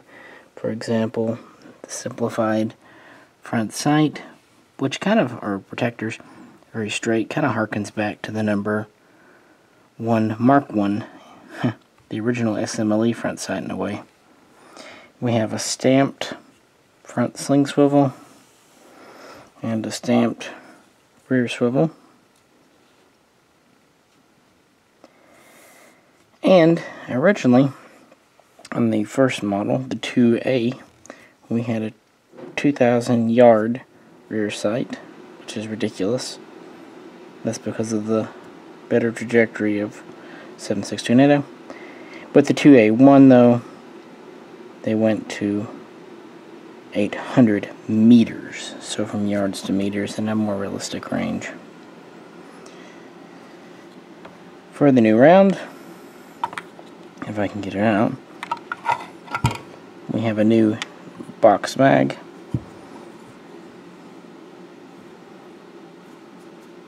Has this kind of flared out plate a takedown pin. They made both 10 and 12 round capacities, and I've never seen a reason why, aside from just they did. And who's to say what guns would get which? if I can get it in. This one's not terribly stiff, but doing it... There we go. I don't know why, but the mags seem to come in and out of these pretty easy. And they would either have had a blued or a painted finish. These were designed around 1962, 1963 for the Indian Army, although they were meant mostly for the reserves, second line, auxiliary, backup use. This was following the uh, Indian or Sino-Indian or India's war with China when they discovered they needed more guns. So it was always kind of meant to be a second line gun, but it did see active military service in the 60s. And it its place in history is that it was the last bolt action gun, a new bolt action model, to be adopted by a military for standard issue even if it was second line. Now that's not saying there haven't been sniper and other specialist rifles and also training and drill rifles since then. We're just talking about, you know, field use. But yeah, by 1963 the 2A was in production and then by 1965 it was superseded by the 2A1 here. And it's said that production lasted till roughly 1974 or 1975 with around a quarter million built, but India's records are a little mysterious even to this very day. Flipping her over as usual. It's pretty well an Enfield. Standard safety. One difference you can see there is a bolt installed on the side. This is to strengthen the stock for potentially heavier, more violent recoil. simplified rear sight. And here's the other side, has the standard bayonet lug, and what have you. It's interesting that some sources report that while these were built as new guns, receivers, barrels, some of them were built with other parts from salvaged rifles, for example, stocks which actually does kind of gel because I've seen some 2A1s that were imported here that had very just brand new bores, but the stocks look like shit. and that kind of makes sense. Again, there's also the, the magazine issue Y12, Y10.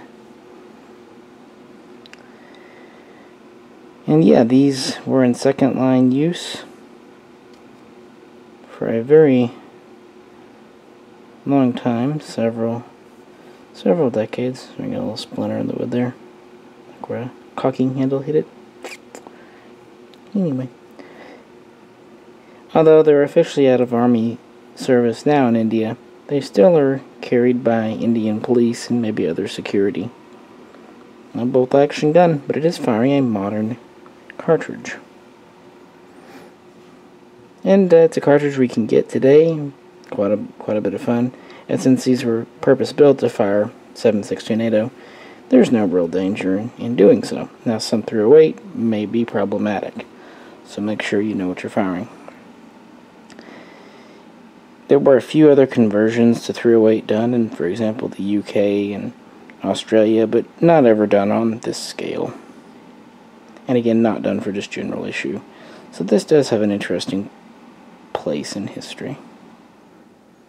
There are a few odd things about this gun, though. For example, this here magazine and its floor plate is reminiscent of something. And this butt plate, while it does have a trap door, it too is different style. Much easier to open, for one thing, than a standard Enfield. and that's reminiscent of something. What could it be? And here at the end, let's do a bonus rifle. Why not? I will always drag out the British L1A1 SLR whenever there's a halfway decent excuse. To be fair, these were made by the Royal Small Arms Factory Enfield, as well as Birmingham, BSA, and Fazakerley. And as you know, this is the Commonwealth version variant of the famous Belgian FN FAL, firing 7.62 NATO. Now, I've done a lot of videos on the FAL, and this one's long enough, but I thought we would discuss it as it pertains to the Enfield, because the Enfield hung on for a very long time, in most cases through the 1950s. And it wasn't until the FAL came about that it finally was replaced. In 1954, Canada was the first to purchase a large number for field trials. Britain would follow soon after, and Australia would be the last of the major three in 1959. Britain would begin looking at these in 1954, adopt it in 1957 and thus officially retire the FAL, excuse me, the Enfield. In Australia and Britain, it's known as the L1A1, and in Canada, it was originally the C1, later the C1A1, and there was also a select fire variant, the C1D, C1A1D. That's what's interesting. They finally get away from a bolt action and you'd think they would go to a select fire gun, but they did not. The SLR stands for self-loading rifle. These were safe, semi, or repetition as the British called them, only. Australia and Canada did have a select fire version, the L2A1, C2, C2A1, but Britain did not. They just did the L1A1. This rifle is actually just a smidge longer than the number one Mark III. It's about 45 inches. It has a barrel, if you include the flash hider, of a nearly 22 inches, because it's a very long hider. and it weighs about 9.5 pounds, so it's not any smaller or lighter, but it is, of course, self-loading, and it feeds from detachable 20 round mags, inch pattern. That's actually what I was pointing out with the Ishapur. If you look at the base of the mag here, you can see a commonality. Lengthwise, they're actually about the same, although the front is more narrow in the 2A, 2A1 mag to accommodate the Enfield receiver. Also, the feed lips and all that at the top are very different. India did produce a version of the FNFAL L1A1 known as the 1A1, but this was unlicensed They worked on it around 1960, and um, it mostly had L1A1 features, but it, they did throw some Belgian, so metric styles in for good measure. So that's why when they made the uh, the 2A 2A1 for second line use, it didn't seem so crazy, and they used even a few of the same parts. Mostly, the butt plate is the same from their 1A1 and uh, this gun here. So yeah, throughout Britain, Canada, Australia, this is replaced the Enfield. Also in other countries like New Zealand, Malaysia, like I said, India. Pretty much everyone who was still using an Enfield would end up going to the FAL. And, you know, these are called the inch pattern. They have their own features. They have a unique bayonet lug, flash hider, typical FAL gas system, short stroke, folding charging handle, folding rear sight, folding trigger guard if you need to, enlarged mag release, enlarged change lever selector. One thing they did that was kind of interesting, the metric FAL, the Belgian pattern, holds open on the last round. But I guess because the British were never really used to that because of the Enfield, when it came time for the L1A1, they disabled the automatic feature of the hold open, making it a manual only device. So you can press up on it and hold your bolt open, but otherwise it's not going to do anything. Now to be fair, originally these had wood furniture, walnut I believe, but then they went to this nylon fiberglass stuff in the late 60s, 70s called Maranyl. It's very good furniture. So most of the ones in British service would get get rid of their wood and go to this, which does give it a much more modern look than the uh, wood. Wood like this. Flipping her over. One thing that Britain was a bit ahead of the curve with, with their L1A1, is they started issuing optical sights pretty early on. The suit being the most the Trilux type. That's why the rear sight folds. It's also one of their tabs in the back of the cover. Well, one of the reasons. There's a couple. So even though it was expected to be semi-auto only, they were trying to make up for that by having an optical sight is, if not standard issue, at least common issue.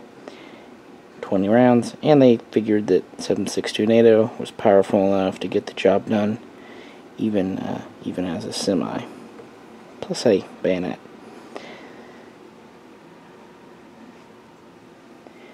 These would uh, serve Britain in places like North Ireland and the Falklands.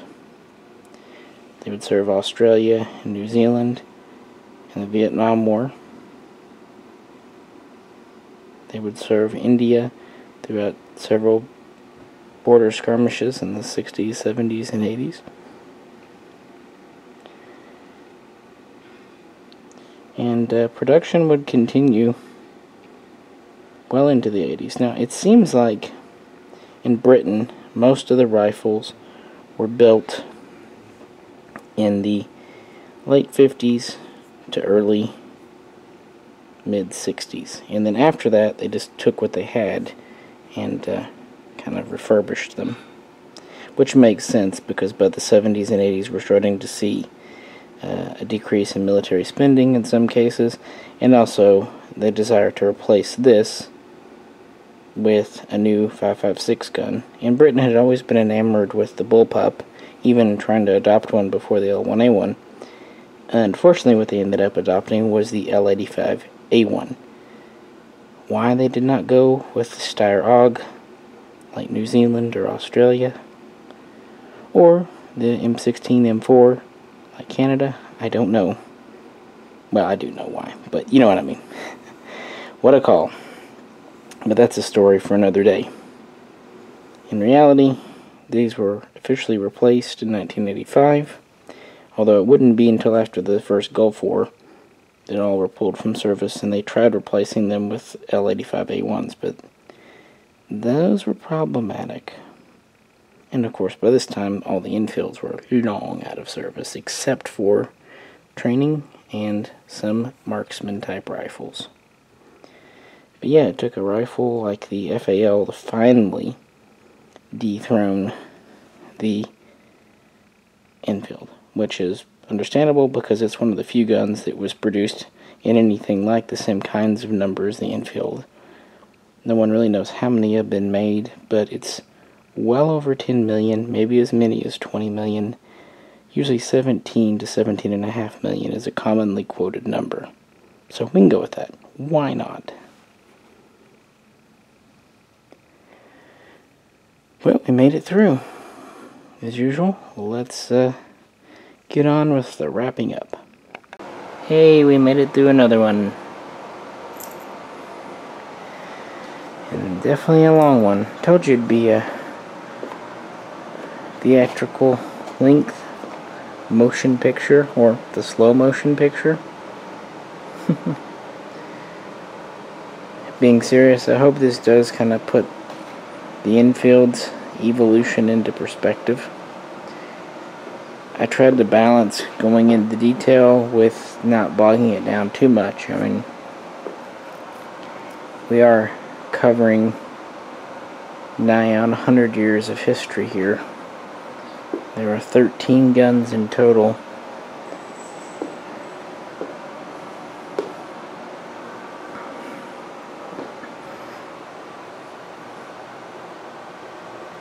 Number fours.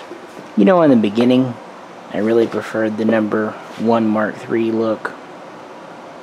It is the classic Enfield. But the number 4 has really grown on me.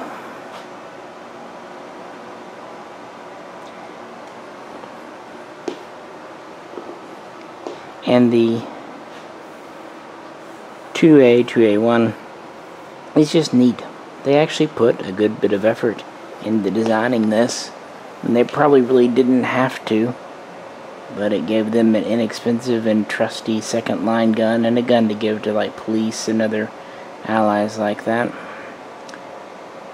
And they did a good job with it. So, yeah.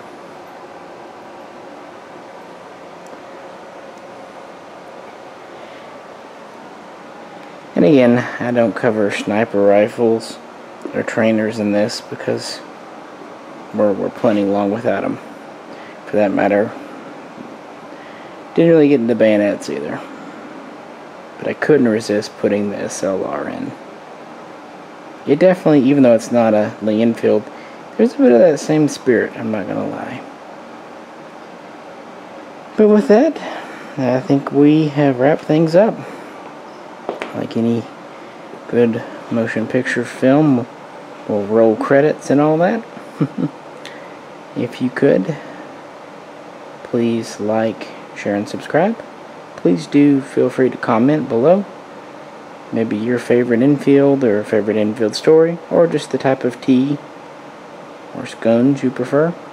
Or heck how about favorite British author? All things British chat and if you'd like to help support the channel, because videos like these do take a day or more to make, check out the link to our Patreon page. You can find our rewards and all that then and there. Alrighty, folks. With that, I will let you go. This is Misha. And also, on behalf of Jay, we will both catch you very soon next time.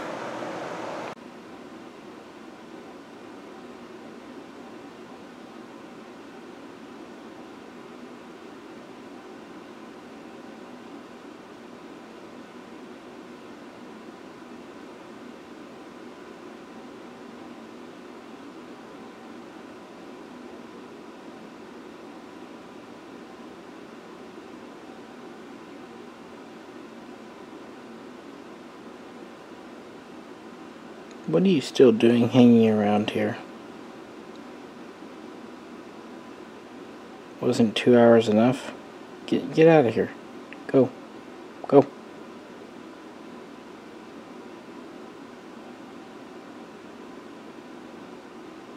Go call a friend. Or, I guess if you don't have a friend, go go play Minecraft. Uh, is that what kids do now? I'm not sure. Really? Still, still here? Okay, fine.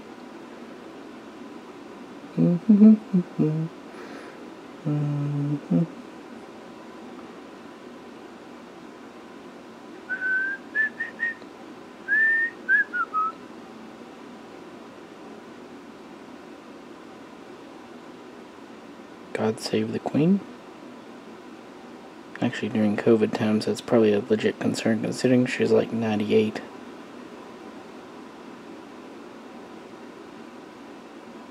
Want a cat? Free cat. Send me a postcard. I'll mail you a cat. Your choice of colors. Free cat.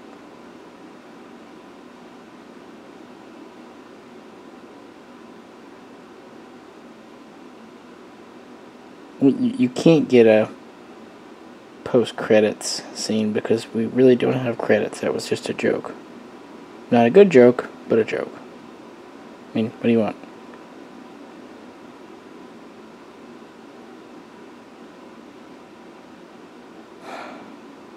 You're not going to leave, are you?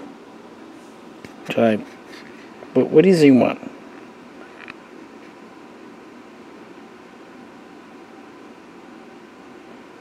Alright, fine. One more.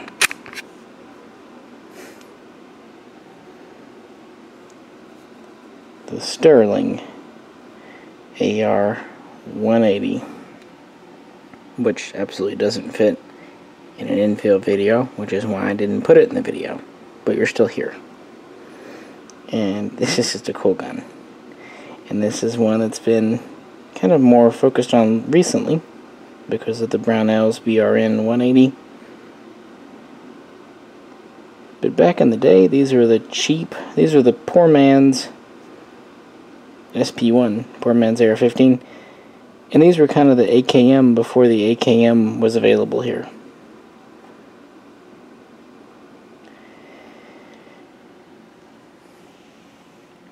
And the story of why these were built in England is quite interesting and for a full video. But as you know, the AR-18 is the select fire version, the AR-180 is the semi-only. And they produced both from the outset. This was designed by Armalite after they sold Colt the patent to the AR-15. Then they began working on a gas piston 7.62 NATO gun known as the AR-16. Well, the 223 version, which it was mostly referred to back then in the 60s, became the AR-18. And uh, they first started trying these out in 1964, and production began around 1969 at Costa Mesa, California, directly under Armalite. What made these guns unique? They had the short stroke gas piston, they had the recoil system in the upper receiver, which allowed for a buttstock.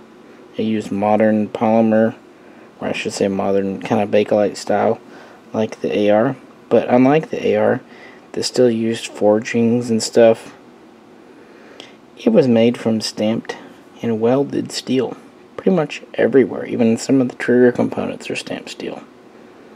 Also it has an 18 inch barrel pretty lightweight and it is not chrome lined to save on money. Still is threaded with a flash hider Still has a bayonet lug. Has basic front sight. Takes a pretty standard sling. Has an adjustable rear sight. And, kind of unique, it had a uh, scope mount on top for a QD system. Of course, this, this was way before Picatinny. And it has an ambidextrous selector.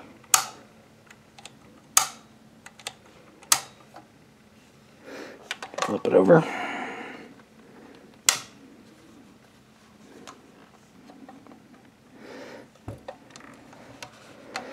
You see, it is on this side, and actually a lot like modern, say, Colt or Demico selectors. It's shorter on this side, and they did that so when the stock was folded, you could still access your fire mode. Maybe not as convenient, but it was there. Here's the windage knob for the rear sight. To fold the stock, there's just two spring-loaded buttons here. Has a folding dust cover not dissimilar to the AR. Has a reciprocating charging handle that's upswept. The mag catch is on the right and is a little different style, as are the magazines. Now, originally, Armalite mostly rocked it with some 20 round straight mags. But Costa Mesa really couldn't produce many of these. They only built 40, 100 or so. AR 180s and, and 1100 or so AR 18s. They contracted with Howa in Japan to build more, so around 1970, but this didn't last long, only a few years, because of the Vietnam War and other things. This was against the Japanese Constitution, so Howa delivered fewer than 40, uh, excuse me, 44,000 AR 180s. But in 1975, give or take, a new deal was struck with our friends in Dagenham, England, at Sterling Arms, and they would produce the AR 18 and AR 180 under license from Armalite. It took them a little while to get the production line up and running because this is pretty different. Sterling was mostly known for pistols and submachine guns, like the Sterling L2 or the Patchett before it.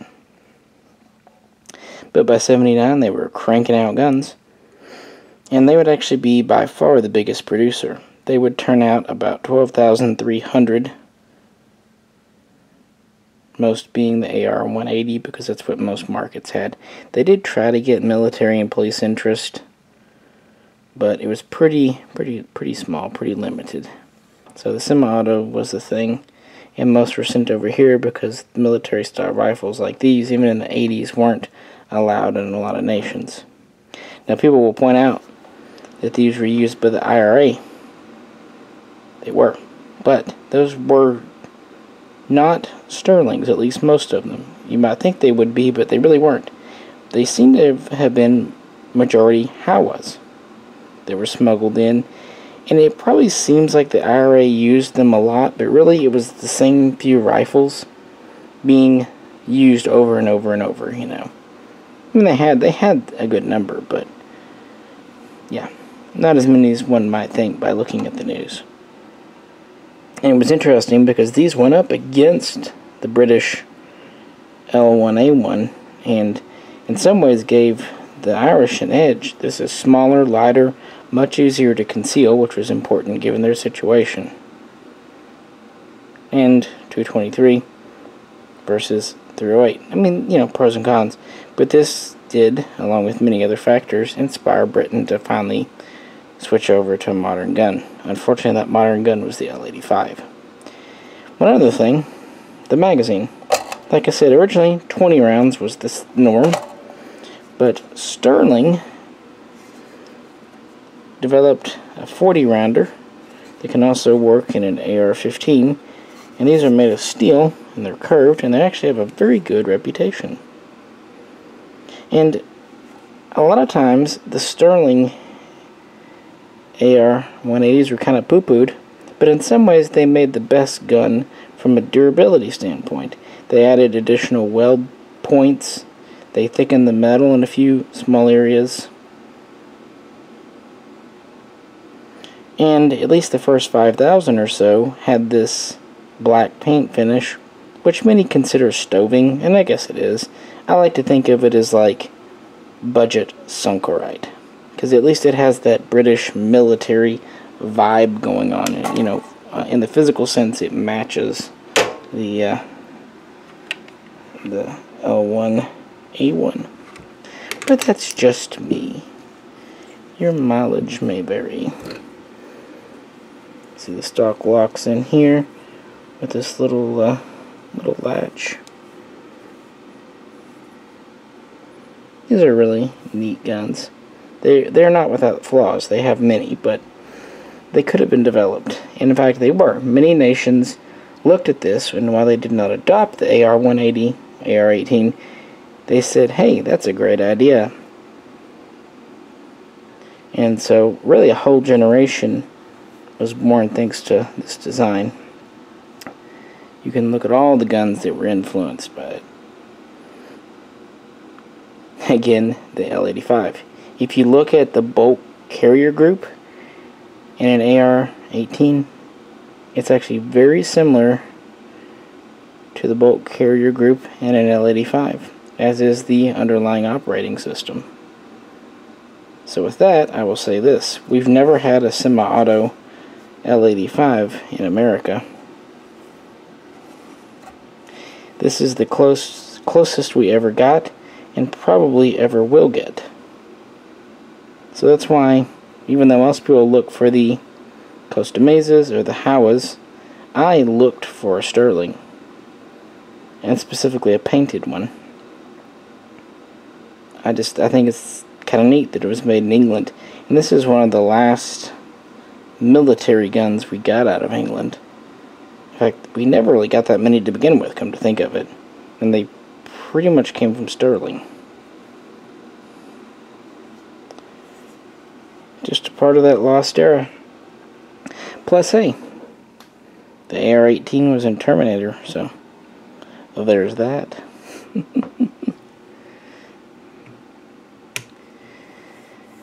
so there, you get a post-credits peek at one more British gun back in the day, for a long time, people kind of, mean, they really didn't command a ton of money. But uh, these days, they really have become popular. There's definitely a cult following, which explains why Brownells did reproductions of these. Of course, Eagle Arms, the new Armalite, tried the AR-180B, but that's a story for another day. Well, if you've remained this far, yeah, we might do a retrospective video on the AR 118 180 why not it's been a while since we brought it out it's not the most enjoyable gun to shoot because the trigger kind of but it has a lot of cool points alrighty guys for real this is the end I mean you can stay here if you want but I'm going to bed I do appreciate it sincerely. And again, if you'd like to help support the channel, check out the link to our Patreon. Or, if you could, at least like, share, and subscribe. And also, we love when people comment. So, with that, I will catch you very soon. Next time.